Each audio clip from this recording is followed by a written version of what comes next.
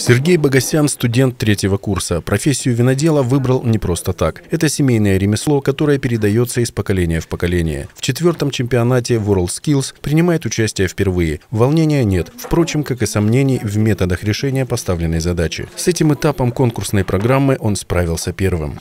Я считаю, что задачей справился, потому что все сделал вроде бы как надо, правильно. WorldSkills – это отличный шанс проявить себя, то есть и поэтому я решил участвовать, чтобы проявить себя, показать, заявить, что в будущем меня могли взять также на работу.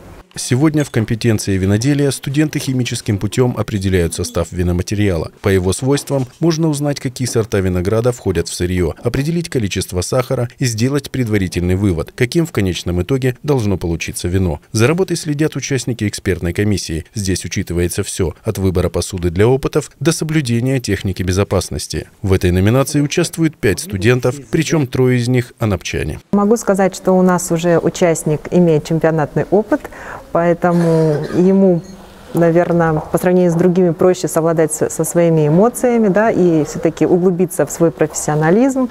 И я думаю, шансы достаточно хорошие. Анапский сельскохозяйственный техникум в рамках четвертого чемпионата WorldSkills принимает на своей базе две компетенции. Вторая – это ландшафтный дизайн. За право стать лучшими в этой номинации борются пять команд – из Армавира, Обширонска, Ейска, Краснодара и Анапы. Это студенты из среднеспециальных учебных заведений. В течение трех дней им необходимо по проекту на площади 18 квадратных метров построить малый сад. Они должны сделать маленький водоем, подпорную стенку, два трильяжа для вьющихся растений, растений выложить мощение. Э, водоем у них будет с фонтаном. Они работают два дня по 6 часов и третий день 3 часа. Всего на задание отводится 15 часов.